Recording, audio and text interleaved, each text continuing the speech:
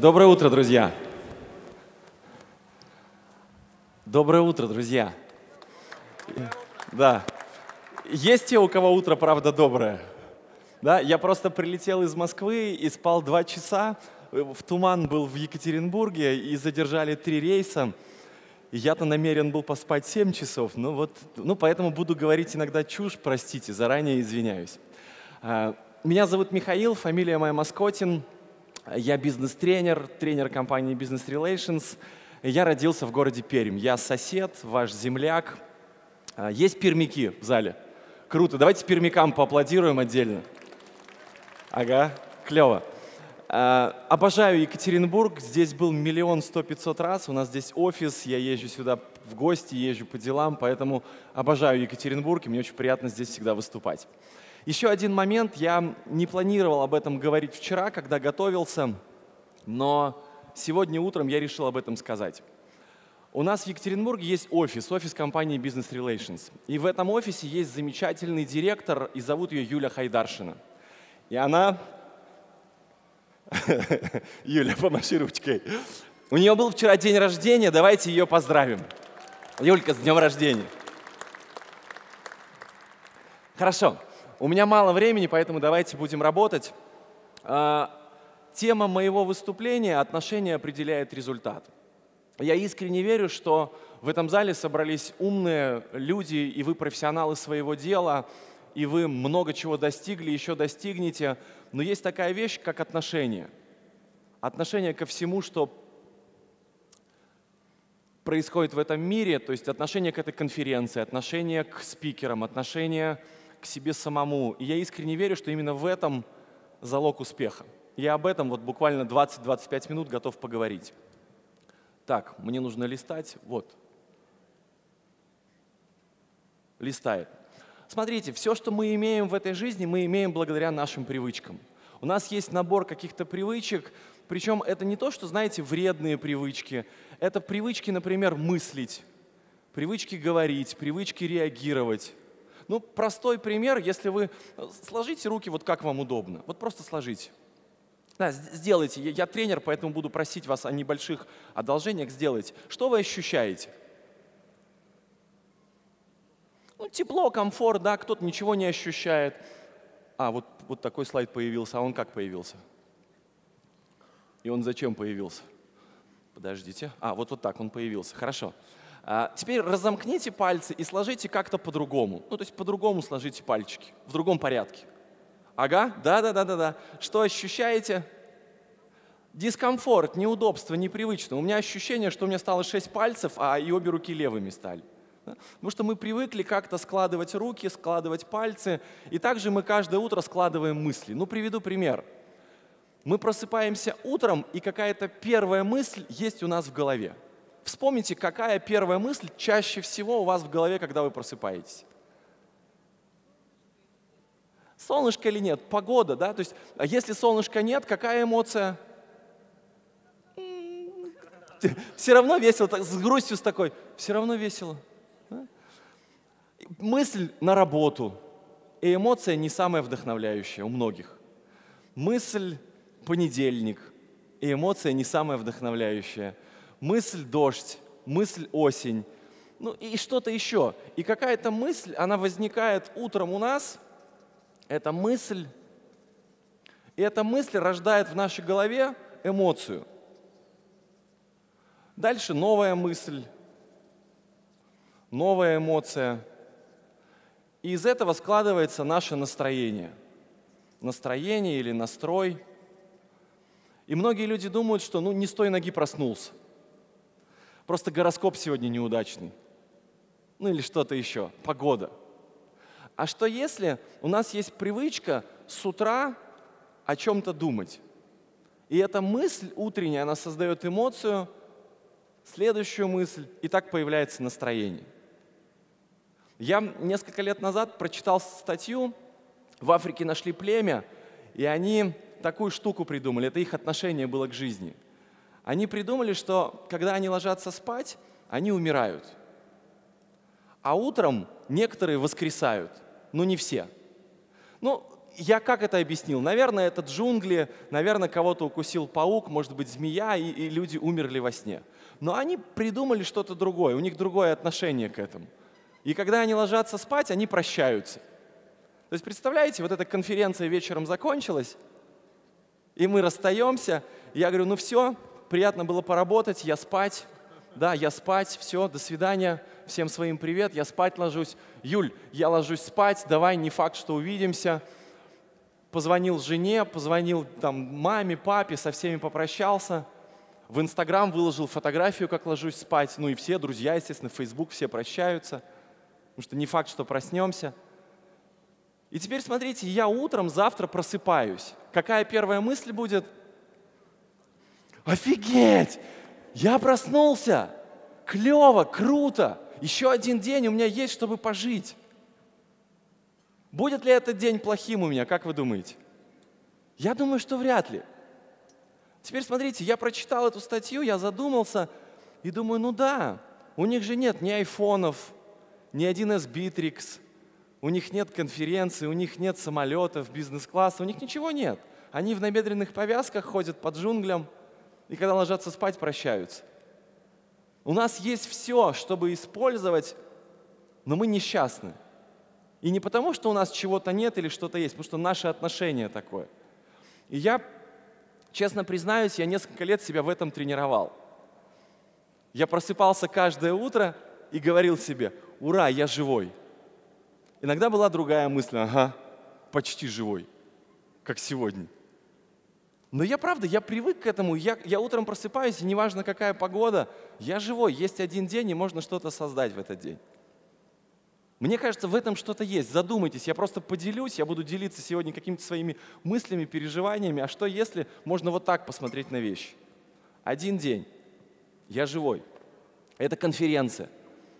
Вы знаете, ты можешь прямо сейчас сидеть на этой конференции, и у тебя есть какие-то свои мнения, какие-то оценки, ты, ты может быть, чем-то недоволен, у тебя что-то на работе не так. А что, если это последний день? Ну вот я не хочу никого расстраивать, пугать, я наоборот хочу вас вдохновить.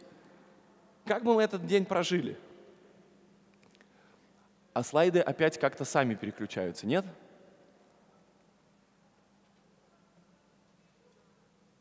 Может, фамилию назвать? Что, что, что сделать?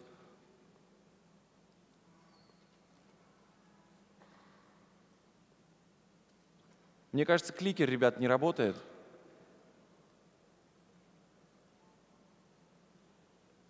А можно вас попросить, вы можете просто тогда листать? Нажмите, пожалуйста, я эту штуку выброшу просто и все. Ага, нажмите. Супер, ну это я, я уже про себя рассказал, можно дальше. Ага. Смотрите, вообще, как вы устроены, как любой взрослый человек? Я обожаю обучать взрослых людей, потому что вы удивительные, и, и вы прямо сейчас сидите, и у вас есть свои мысли, мнения, оценки по этой конференции, вообще по всему в этом мире. И если вдруг я что-то буду говорить, что вам нравится – или вы считаете это полезным, интересным, или другой спикер, будут много полезных спикеров сегодня. Если то, что говорю я, совпадает с вашим мнением, то какой спикер? Хороший, нормальный, потому что классная конференция. Выходит другой спикер, и если то, что он говорит, не совпадает, в этот момент ты говоришь, ну ладно, посижу, подожду. Нормально ведь общались до этого, что началось-то? Ну ладно, следующего спикера. И мы выкидываем. Называется конференция «Идея», но в такой модели мы все новые идеи выкидываем, потому что мы только принимаем то, что нам нравится. А что если как раз то, что нам не нравится, те идеи, которые мы, например, считаем, что мы это знали, они могут быть самыми полезными для нас? Вот посмотрите на сегодняшний день через призму, а что если я ничего не знаю? Вот как дети. А, я, я не знаю, как зовут, можно обратиться, как зовут? Егор, Егор, ты банан или апельсин? Ты банан или апельсин? Да. Апельсин. Почему? Освежающий, вкусный. Вот смотрите, что сделал Егор. Он, он, он сперва остановился на секунду, типа, что за вопрос, а потом допустил, что это идея, а вдруг я или банан, или апельсин.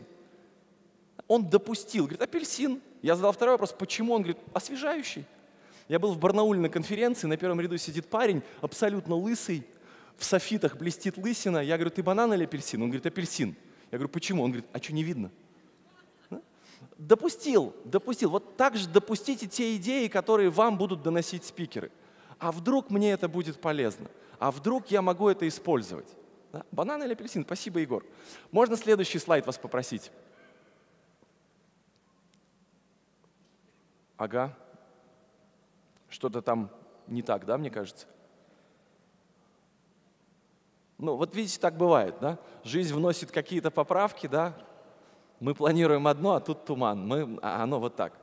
Хорошо. Смотрите, в любом случае, любое событие в этом мире, оно нейтрально. Вы понимаете, что нет плохих конференций или хороших конференций? Нет плохих людей или хороших людей. Любое событие, оно само по себе, событие, как событие, оно не имеет никакого смысла. Но в тот момент, когда событие происходит, например, с кем мы знакомы, поднимите руку, кто, с кем мы знакомы. Вот есть несколько человек, да, с кем мы знакомы. Да? И вы что-то уже обо, обо мне знаете, точнее, не, что, не то, что знаете, вы это обо мне придумали.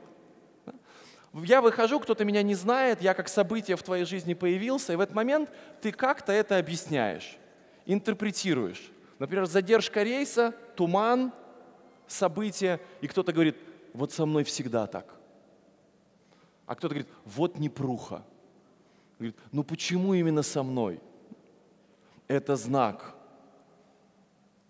Ну еще что-то.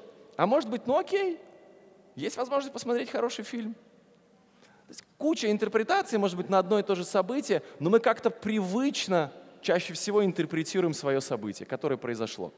И мы искренне думаем, что то, что мы придумали по поводу события, так оно на самом деле и произошло. Это, например, мы с Егором встречаемся, и я Егору, э, ну, Егор, мы уже с тобой почти друзья, уже знакомы. Я Егору что-то рассказываю. Я подхожу, я говорю, смотри.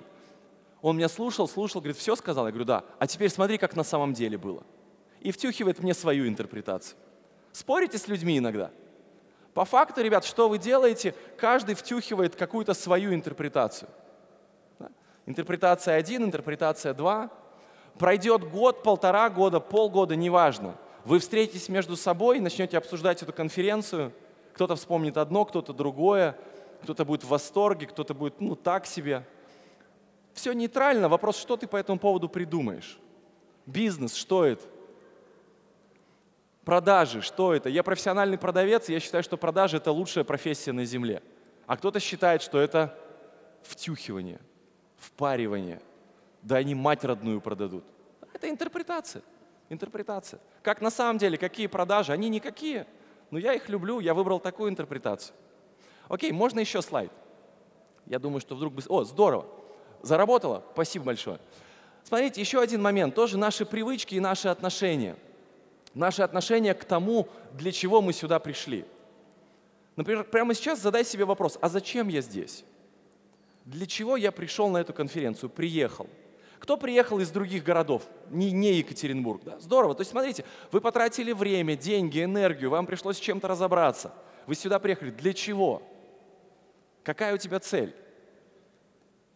Взять идеи? Здорово. Просто чтобы были идеи или что-то с этим сделать в своем бизнесе. Для чего? Потому что большинство людей, я знаю огромное количество людей, кто ходит по конференциям, а ничего не меняется. Для чего ты пришел? Что ты сделаешь в реальном мире после этой конференции? Что ты внедришь, создашь, изменишь, улучшишь? Для чего я здесь? Для чего я проживу этот день на этой конференции? Вы знаете, многие люди приходят домой вечером, и они не знают, зачем они туда пришли. А утром идут на работу, приходят на работу и тоже не знают, зачем они туда пришли. Они идут к друзьям, встречаются, какие-то пустые разговоры. Если спросить, зачем ты встретился? Ну а что делать? С друзьями время провести – Многие люди, знаете, только у взрослых людей есть такая фраза «убиваю время». Мне кажется, это самая страшная фраза. Ты что делаешь? Время убиваю. Рейс жду, время убиваю. Но по факту ты не время убиваешь, ты жизнь свою убиваешь, потому что твоя жизнь, она из времени состоит. У кого есть дети, друзья? Вот мне кажется, моя версия, знаете, мы все хотим учить детей чему-то, да, и учим. У меня две дочки, 6 лет Стефания, 11 лет Маруся – но мне кажется, нам, нам надо у них учиться. Не нам их учить, высокомерно думая, что они ничего не знают, а нам у них учиться. Я наблюдаю за своими детьми, у них всегда есть цель. Каждый день жизни есть цель. Кто понимает, о чем я говорю? Да, я ни разу не видел детей в депрессии. Ни разу не видел, чтобы моя Стеша пришла там, не знаю, с рисования или с барабанщиков, или с какой-нибудь развивающей штуки. Стешенька, как твой день? Ну, пап, сегодня что-то, что-то не очень. Я вообще, пап, не понимаю, вот скажи мне, почему люди такие? Почему жизнь несправедливая? Вот сегодня была на уроке, и учительница, она явно меня недолюбливает. Нет, если мой ребенок начнет так разговаривать, это все, алло, доктор, помогите. Потому что у ребенка каждый день он, он лучший. Детям всегда есть чем заняться, они не убивают время. У детей всегда есть энергия. Мы ездили в Европу, ей было 4 года, и мы гуляем, и я очень хотел зайти в Нотр-Дам-де-Пари. И мы уже подошли, и она говорит, папочка, возьми меня на ручки. Я понимаю, все, батарейка села. Я ее беру на руки, и она вот как тряпка вот так засыпает на мне. Все, у нее батарейка, она бегала весь день, у нее, она устала, раз отключается. И я хожу по, по, по, по этому ну, там, храму или что это, да, и она у меня спит просто как тряпка на плече. Она часик поспала, она соскочила, и дальше движуха, ей интересно. Вспомни, когда ты просыпаешься утром, ты просыпаешься уже уставший. Ты еще ничего не сделал, ты уже устал. Мы всю ночь спали, мы проснулись. Ужас. Ребенок, он не устает. Он если устает, все, спит, поспал, соскочил. Папа, где мы? Там, о, побежали. Хочу есть. У них всегда есть хорошее настроение. У них всегда есть чем заняться, у них есть цель. Какая у тебя цель? Для чего ты здесь? Подумай над этим.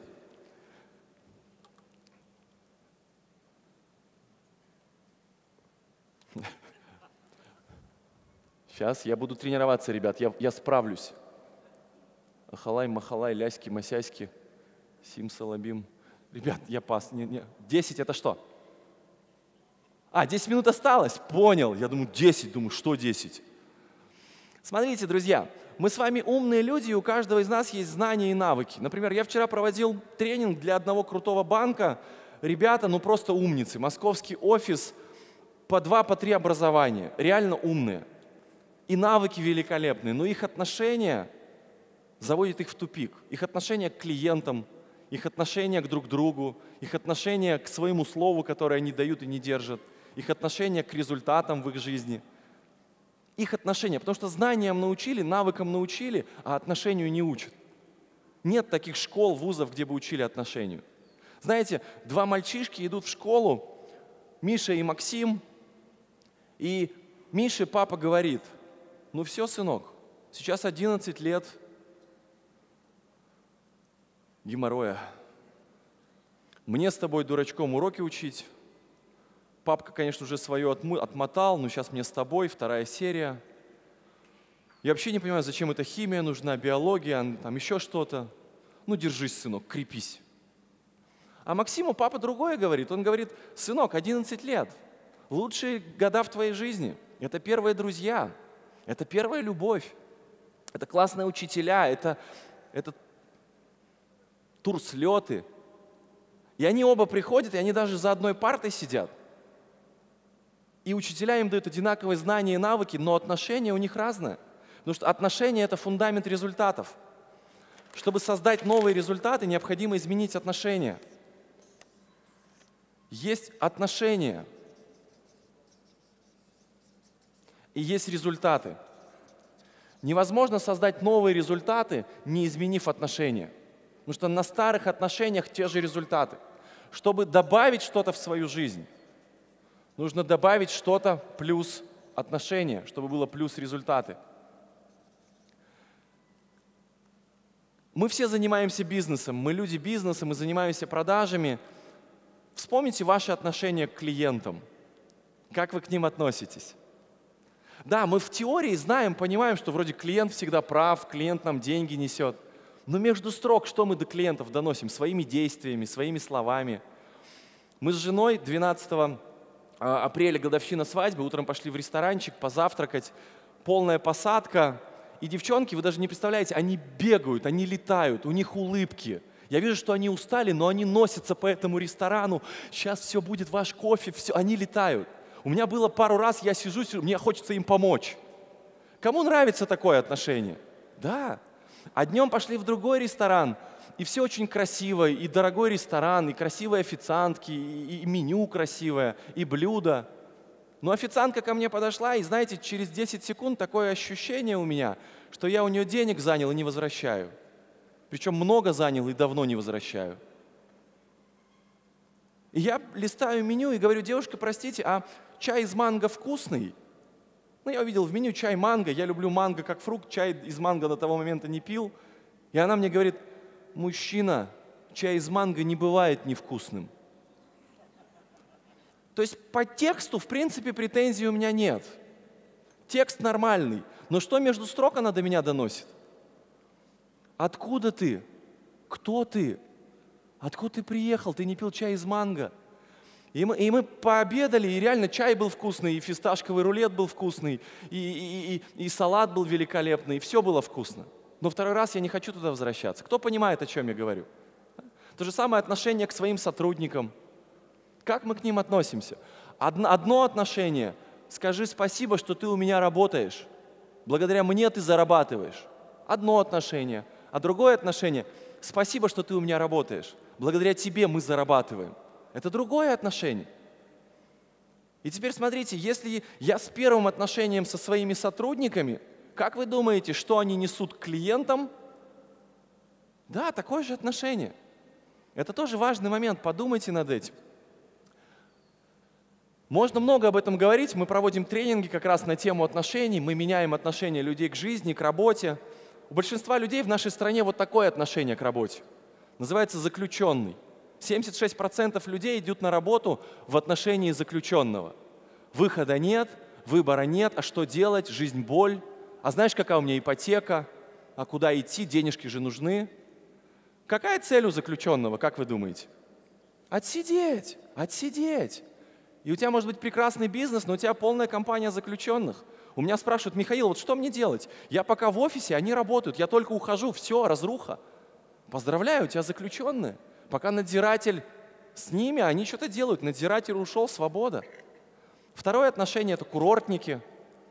Пока им все нравится, они ходят на работу. Когда ты о чем-то их попросил, они говорят, воу-воу-воу, я не планировал в волейбол играть, я планировал на солнышке позагорать. Какая цель у курортника? Отдыхать, получать удовольствие. Есть третье отношение – это партнерство. Когда я иду на работу, потому что это мой выбор – я приехал на эту конференцию, это мой выбор. Да, я спал два часа, но это мой выбор. Я ваш партнер, я приехал сюда для вас, это мое отношение. Я дал слово, это важно. Понимаете идею, друзья? Это моя дочь, ее зовут Маруся. Ей сейчас 11 лет, здесь ей 4 годика. Я иногда шучу, моя презентация, кого хочу, того вставляю. Я как-то пришел домой и наблюдал такую картину – ей было года 3-4, и моя мама и Маруся, они взламывали iPad. Да. И я так стою, они меня не видят, я, я зашел в квартиру, ключами открыл, наблюдаю, и вот просто я вам продемонстрирую, как это выглядело. Маруся, бабушка, бабушка, давай вот здесь нажмем, посмотрим, что будет. Бабушка, ой-ой-ой, не надо. Маруся, бабушка, ну я хочу мультики. Ой, Маруся, я хочу мультики. Бабушка, давай телевизор включим. Маруся, я не хочу телевизор, я хочу YouTube, давай посмотрим мультики, там есть такие-то мультики. Бабушка, а вдруг сломаем? Маруся, да ничего мы не сломаем, давай попробуем. Ой-ой-ой, давай папу дождемся. Да не хочу я папу ждать, у меня, мне мультики надо смотреть. Ой-ой-ой, я боюсь. То есть смотрите, по факту и у мамы у моей, и у моей дочки позиция одинаковая, ноль они не умеют пользоваться айпадом. Факт. Знания и навыки у них одинаковые, но их отношение разное. Ребенок готов тестировать, он готов ошибаться, он готов ложать, но он, у него есть цель. Взрослый человек говорит, воу-воу-воу, нежели богато нечего начинать. Хочется, перехочется. Лучше синица в руках, чем журавль в небе. Меньше знаешь, крепче спишь. Закатай губу. Беда не приходит одна. Пришла беда, открывай ворота. Не все коту масленица. Одна девушка, управляющая банка, говорит, а мне мама в детстве говорила, не все коту творог, а иногда мордая порог. Вдохновляющая мотивация ребенка, правильно? Знай, дочка, жопа придет. И мы идем по жизни, и у нас вроде все хорошо, и бизнес идет, и, и деньги есть, и клиенты. Но мы, знаете, останавливаемся, думаем, что-то как-то подозрительно.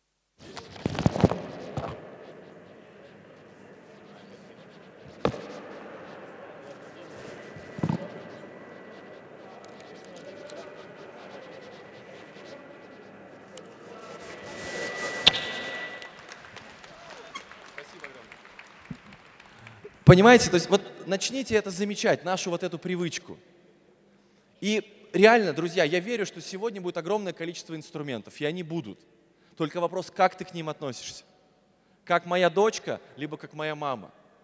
Ты готов брать, тестировать, исследовать, ошибаться, снова делать. Вы знаете, что вы, когда учились ходить, и я, когда учился ходить, мы 300 раз падали. Есть статистика, что ребенок падает примерно 300 раз. Я ни разу не видел, чтобы, знаете, подходишь, сидит человек в инвалидном кресле. Ты к нему подходишь и говоришь, что случилось? ДТП? Он говорит, нет. Авария какая-то? Нет. Паралич? Нет. Клещ укуси, укусил? Нет. Что случилось? В детстве упал, подумал, ходить не мое. Нет, мы, мы падаем, встаем, падаем и встаем. Но взрослые люди, многие говорят, по-моему, iPad не мое, я лучше телевизор посмотрю. По-моему, бизнес не мое, я лучше это сделаю. Не попробуешь, как узнаешь. Хорошо. И последний вопрос. Я предлагаю тебе задуматься на этот день, да, что ты намерен создать сегодня. И я, я, я тренер, и я предлагаю вам открыть листочек, взять листочек точнее, и взять ручку и записать мою просьбу на этот день, как упражнение. У вас будут перерывы, у вас будут разные спикеры. И вот прошло, например, два часа. Ответь на один вопрос. Вопрос звучит так какие три ключевых идеи я услышал? Какие три ключевые идеи я услышал? Вопрос номер два. Какие три действия я после этого сделаю? Потому что, знаете, чтобы что-то изменилось, нужно менять действия. Первый признак шизофрении – делать одно и то же, а ждать, что что-то изменится. Поэтому идея, потом действие. Это второй вопрос. И третий вопрос – кому я об этом расскажу? Поделитесь хотя бы с одним человеком этой идеей. Выложите это в соцсеть, позвоните коллеге, позвоните знакомому, кого-то встретили, не знаю, я встретил Егора, я говорю, Егор, ты тоже на конференции, отлично. Егор, смотри, что мне понравилось. Егор говорит, а вот какие идеи мне понравились. Потому что один слышит одно, другой другое. Делитесь этими идеями с друг с другом.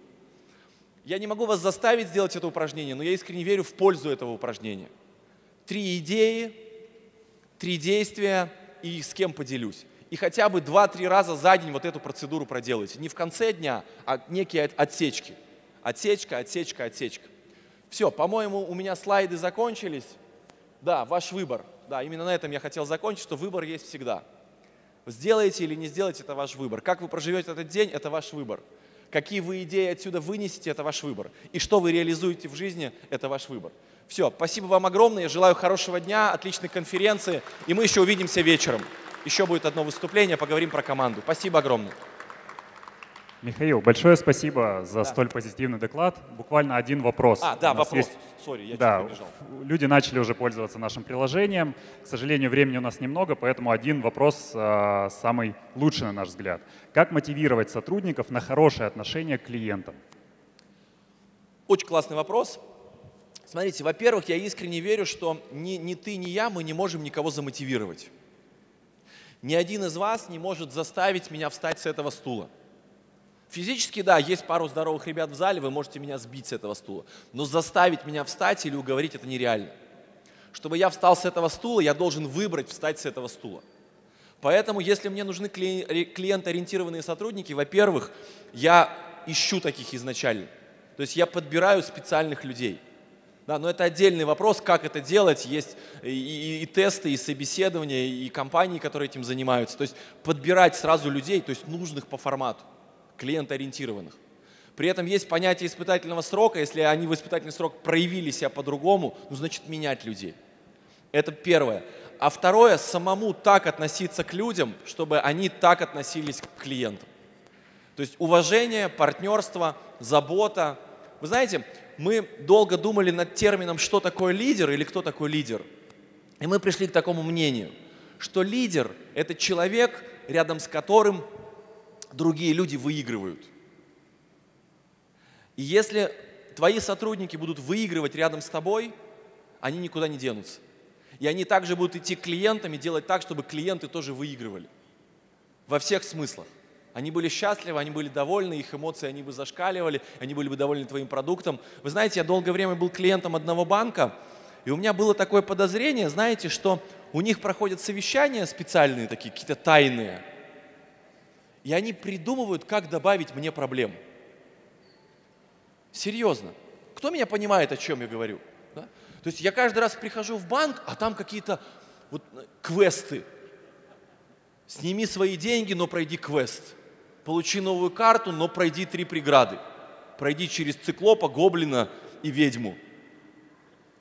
И я долго это делал, делал, потом думал, а оно мне надо? За мои деньги такое отношение. И я ушел в другой банк, перевел счета в другой банк. И я узнал буквально полгода назад, что, оказывается, у этого банка, у них проходит совещание, реально проходит совещание. Как сделать жизнь клиента легче? Вот тот банк, клиентом которого я сейчас являюсь. Как сделать жизнь клиента легче? И я это чувствую. Я чувствую по приложению, чувствую по отношению, чувствую по сервису. И я доволен как клиент. Поэтому сперва внутри, а потом вовне. Ну вот как-то так. Михаил, огромное спасибо. Пожалуйста. Давайте еще раз поаплодируем. Хорошего дня.